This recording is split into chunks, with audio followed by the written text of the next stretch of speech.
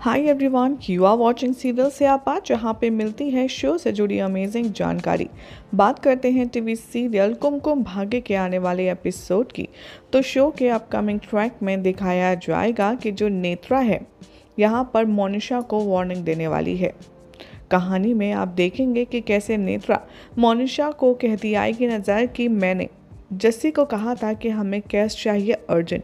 अगर अभी तक कैश नहीं आया तो हम संगीत बीच में ही छोड़कर चले जाएँगे।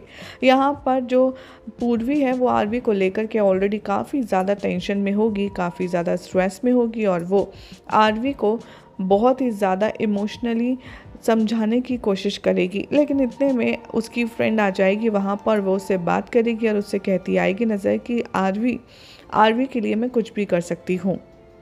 आरवी को बचाना मेरी ज़िम्मेदारी है। मैं उससे इतना प्यार करती हूँ कि उसके लिए मैं कुछ भी कर सकती हूँ और मैं आरवी को हर हाल में बचा कर के ही रहूँगी। अब ऐसे में आरवी ये सब कुछ सुन रहा होता है और पूर्वी का ये जो साइड है वो देख कर के बहुत ही ज़्यादा इमोशनल हो जाता है। अब ऐसे में देखना होगा, काफ़ी ज़्यादा इंटरेस्टिंग कि क्या वाकई में पूर्वी आरवी को बचाने के लिए किसी भी हद तक जाएगी क्या लगता है कॉमेंट कीजिए, साथ ही चैनल को सब्सक्राइब कीजिए। वीडियो को लाइक शेयर करना ना भूलें।